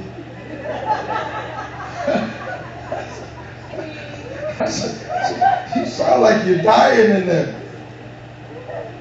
She's tough. She got to learn how to be weak. Say, honey, I need a hug. Hallelujah. Sometimes you don't know what's wrong. You just know it's hurting. Spirit itself make intercession for us with groanings, which cannot be uttered. He that searches the heart knows what is the mind of the Spirit, because he makes intercession for the saints according to the will of God. And the saints make intercession for the world. Is that right? But we know that all things, somebody say all things, no matter what it is, it's working for you good. work together for good to them that love God, to them who are the called according to his purpose, for whom he did foreknow. God's got people out there still that need to come in. You weren't the last person to get saved. Whom he did foreknow, he also predestinated to be conformed to the image of his son, that he might be the firstborn among many brethren. Moreover, whom he did predestinate, them he also called. And whom he called, them he also justified. And whom he justified, them he also glorified. What shall we say then to these things? If God be for us, hallelujah, Jesus. Amen. I learned that from my big sister. He's always for you. No matter what your circumstance is, he's always on your side. Who can be against us? He that spared not his own son, but delivered him up for us all, how shall he not with him also freely give us all things? Put your hands together and praise the Lord. If you can receive the word on today. Father, we thank you for these good scriptures. Lord, that you give us a little grace on to tread through this darkness and all this opposition. But I know there's victory on the other side. I know you're a God of your word, that you're not a man that you should lie. That you're going to bring this word to pass. Even here in this city where the enemy's fighting so hard against us and all these things. Lord, but a stepping stone to the will of God being worked out in the lives of these people in this bad neighborhood, Lord, for as long as you would have us here, or whatever neighborhood you would have us in, whatever circumstance in our personal homes or on our jobs or in our families or in the grocery stores. Lord, that there are people all around us that you would have the scales fall from our eyes to see beyond all their pain and all their hurt, all their behaviors. Lord, and look down to that inner man. Lord, and have the compassion for them that you have for us. Help us to go and do likewise.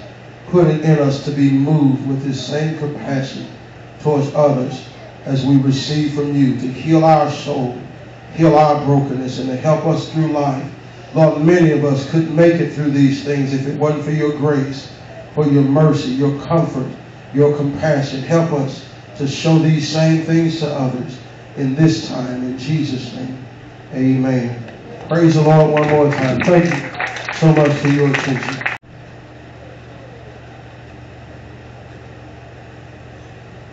For school, Sister Danielle, I tell you, you better pray over your kids going to these schools. Better pray over going to these schools. These schools are something else. The worst we had was a fight at lunchtime. And these kids are having to go through it.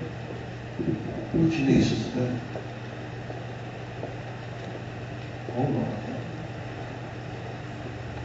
Lord, we anoint against all this soreness, all this trauma. Lord, that she's gone through. Lord, this body is the temple of the Holy Ghost. Lord, you go in and heal. Lord, cause all this to be mended and take all this pain. Right now, we cast it on you that your stripes has already healed my sister and made her whole. We believe for it and we thank you for it. In Jesus' name, amen. I tell you what, ain't, ain't a man here, ain't a man here knows what it's like to have a baby. You know? They may be in the delivery room, but they don't know what that pain is like. But see, another woman knows what that pain is like. You know, and so when you go through something, use the hurt of that to minister to somebody else and let the love of God, amen, minister to somebody because you've been through something. Lord, touch these young people. Lord, watch over them in these schools, going back to these schools. Lord, you would think that they'd be worse in the city, in the country, but they're bad all over. A lot of these school tragedies happen in small towns, not just big cities. Watch over our kids. Hide them in you, Jesus. Shield them like you did Sister Patty's, Lord, daughter, and Sister Shirley Carter's granddaughter. Lord, we ask you to watch over these kids. Cover them with your blood. Going to these schools. Lord, we anoint them on their little African shirts. The little, is it Kwanzaa? Okay, no, I know it's not Kwanzaa.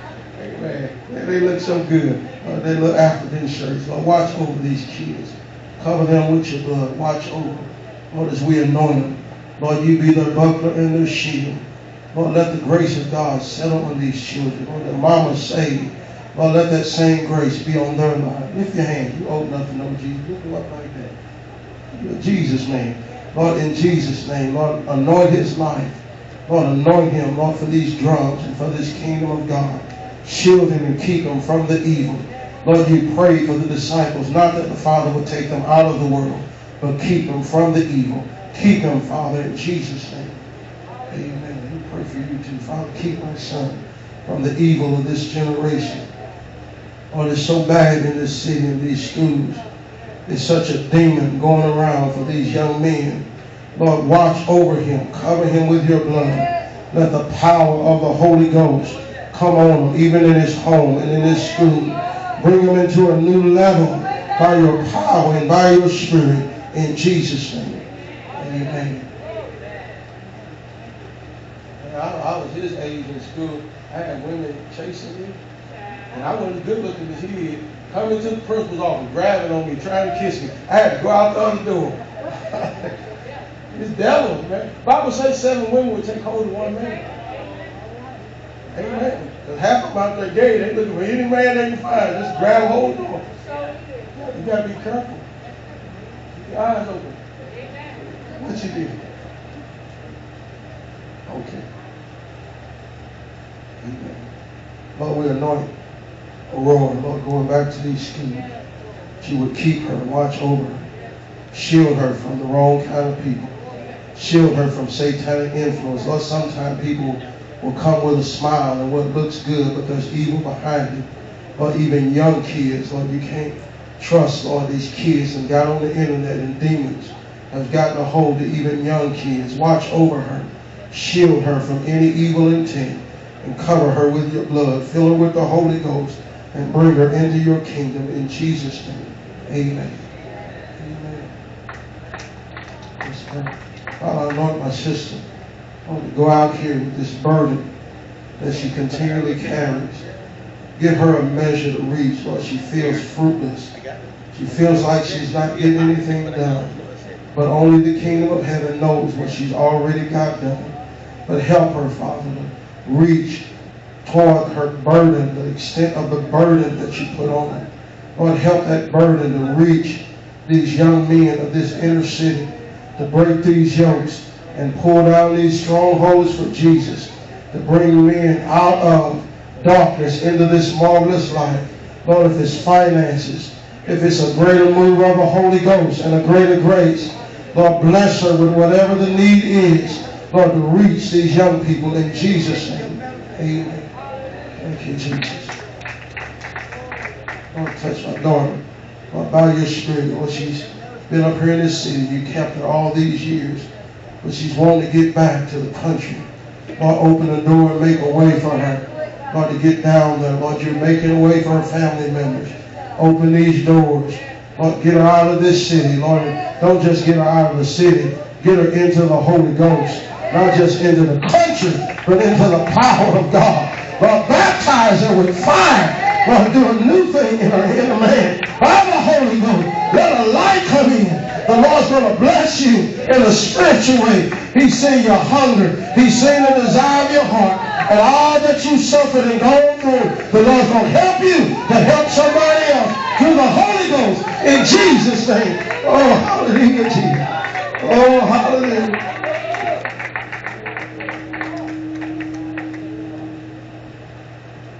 Lord, we touch her for her sister. Lord, she knows the truth.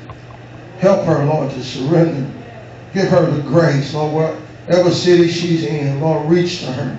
Lord, heal all this that's underlying the feeling of her sister's infirmity. We send the word, Lord, that you would bind up, Lord, whatever needs binding up. And Lord, touch my sister Archie, Lord, with a fresh anointing and a new stir, even in the Holy Ghost. Lord, that while she's at home, that the praying in tongues comes with tongues of fire. Lord, not just struggling through prayer struggling in the mornings, but Lord, a fire to come down on the altar by the Holy Ghost. Lord, a newness in the Spirit of God in Jesus' name. Amen. Hallelujah, the Lord. Hallelujah. Amen. Okay. Okay, Father, touch her. For her vision, Lord, this miracle she needs from the crown of her head to the sole of her feet. Lord, reach her with your compassion, the feeling of her infirmity. Lord, some people just write her off, Lord, but you know how she feels going through these things in her body. In the name of Jesus, touch her. Bring her out of these things. Lord, make a difference in her life by your stripes. Make her whole. Do something for her in the Holy Ghost. Break these yokes and these bondages off her household, off her soul, and off her family. In Jesus' name. Amen. What you need prayer for? You don't know. Your feet just brought you up here against the wheel. All right, lift your hand. I want to touch my daughter. Which one is you? Join the meeting. Lord, touch her by your grace. Lord, draw her to the foot of the cross. Help her, Lord, going back to school. All these things, these young people. Lord, sometimes us adults don't understand what these young people go through, but you understand. Lord, help her when she prays to make contact with you. Watch over her and shield her. Lord, enter into, Lord, her grief and her sufferings and the things, Lord, that agitate her spirit and soul. Make her whole, Father, in Jesus' name. Lord, we pray for our kids. Amen. Lord, touch her. Going back to these schools. Watch over her. Lord, hear her prayer and her cry. Lord, enter into the feeling of her infirmities, these burdens that she may carry. Lord, we ask you, Lord, to be with these children. Lord, when mama can't be with them, grandmama can't be with them, you can be with them, shield them. Let that angel wrap his wings around them in these schools. Lord, and every saint of God here, we pray for their children and their grandchildren. Every believer under the sound of my voice, Lord, let this prayer go out. Lord, even to Arizona and New York, Texas, and other places where our kids are. Watch over them. Watch over our grandkids. Let your blood cover them in the name of Jesus as we pray, Lord, for this child. We pray for all our children. Cover them in Jesus' name. Amen. Praise the Lord Jesus. How you doing? Give me a hug. I ain't seeing you this year. What you need? Okay, Father, we anoint her against these problems in this right eye. Lord, the devil is a liar. You're a healer. Lord, this not being able to see out of this eye, we curse it in your name. Lord, we command the vision to return to both eyes 2020.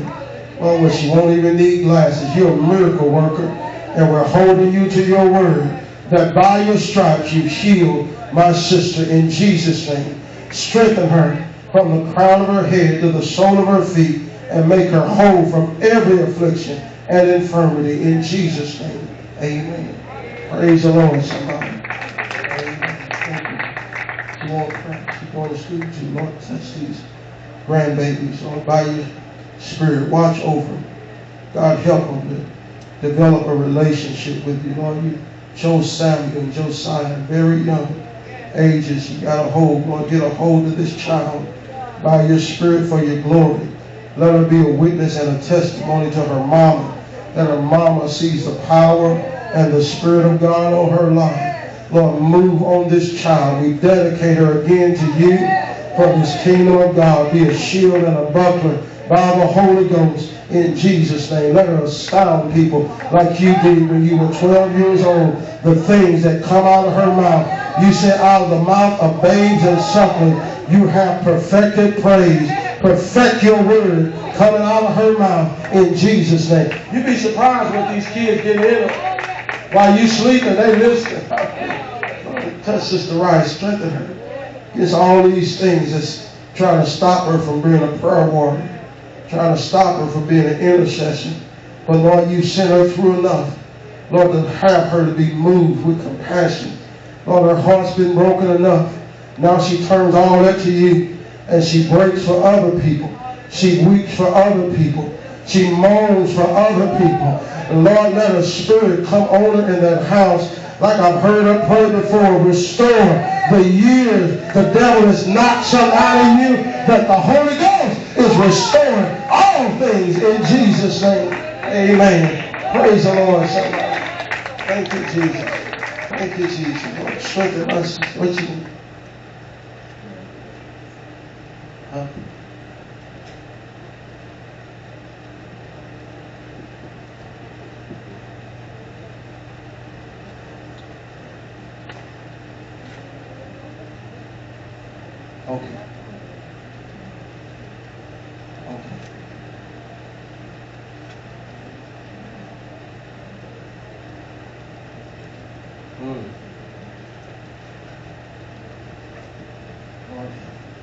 Father, you heard all this request, this burden for these souls, Lord, they're her souls, but they're your souls first. Lord, we ask you to move for this circumstance. We need a miracle. But you're a miracle working God.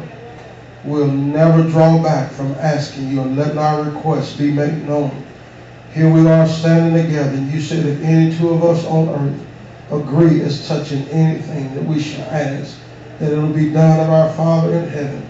We join our faith together for this circumstance, for these souls that she's burdened for. Lord, I enter into this burden with her, Lord, that you will work things out, that you will work a miracle, Lord, that you would open the door. You're he that opens and no man shuts, and you're he that shuts and no man can open. We trust you, Lord, to open this door and make a way in Jesus' name. Amen. Praise the Lord. I'll let you close out. Anybody else? Father, in Jesus' name, move for Sister Aretha. Help her, Lord, with this compassion you put in her heart for others. All she's been through, Lord, to reach others. They're suffering, what they're going through, make a way. In Jesus' name. Amen. Praise the Lord. Amen. Amen. Somebody praise the Lord.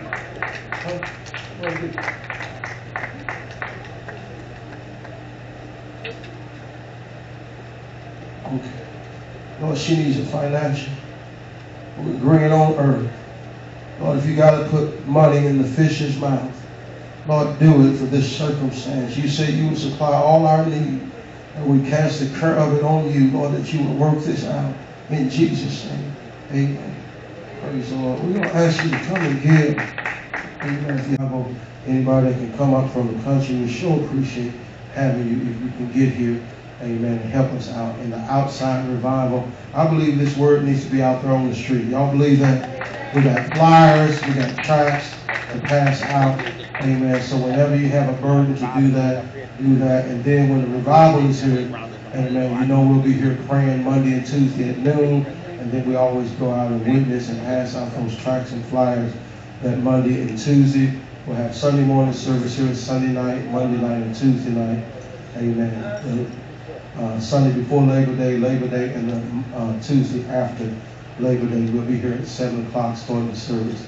Amen. Sister Hunter's going to testify, and then she's going to close out the service. Let's praise the Lord as she comes today. Oh, Sister Grady's got. Yeah, we have, praise the Lord, everybody. We have some seeds back there. We gave out some yesterday. We have some seeds of all kinds of, I know you're in the city, you know, but I want to bring them up because, um, I saw something with someone, uh, in a show where you go in your home, uh, and you can do things in your home without being lost or something back there. You can find something in there that you might want to plant and come anytime, and then we have wet lights and some, uh, old, and donate to the church. So, God bless you. We have a rubber band, but they're, just pull a couple, one or two out.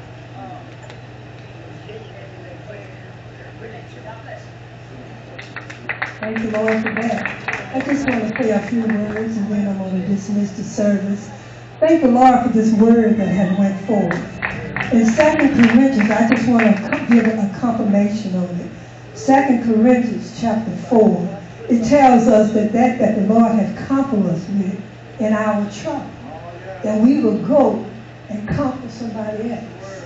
And I thought about that when Brother Mike was going forth that we will feel. You know, I've said that before, that we will feel what people is going through with.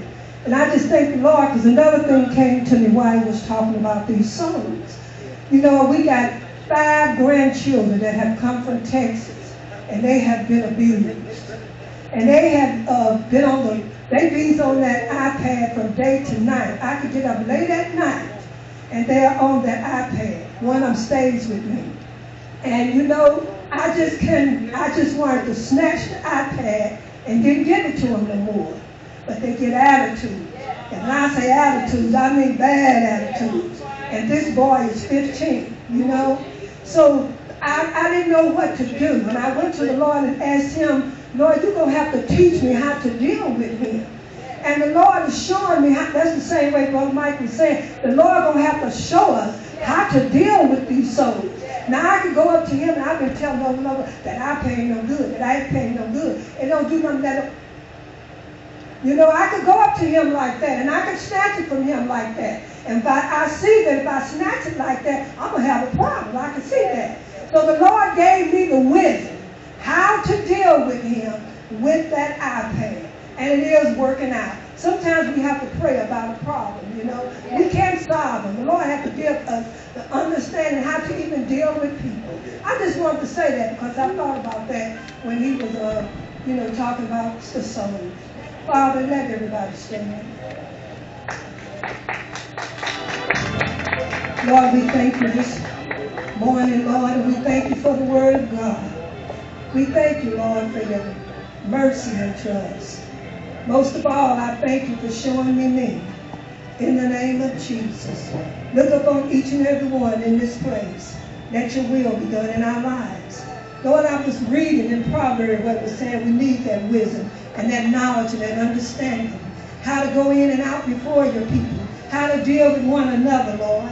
God, in Jesus' name, we ask you to move for us. I believe you're stirring us up, Lord. I believe through going through these hardships and going through these pains, you're doing something for us, Lord. In the name of Jesus. Ask you to cover each and every one with your blood. Bless us as we go that dangerous highway in the name of Jesus. We give you the glory and we give you the thanks. Restore us back, Lord. And I believe you're doing that. I believe you're restoring your people back, God. I believe you're restoring me back, God. In Jesus' name.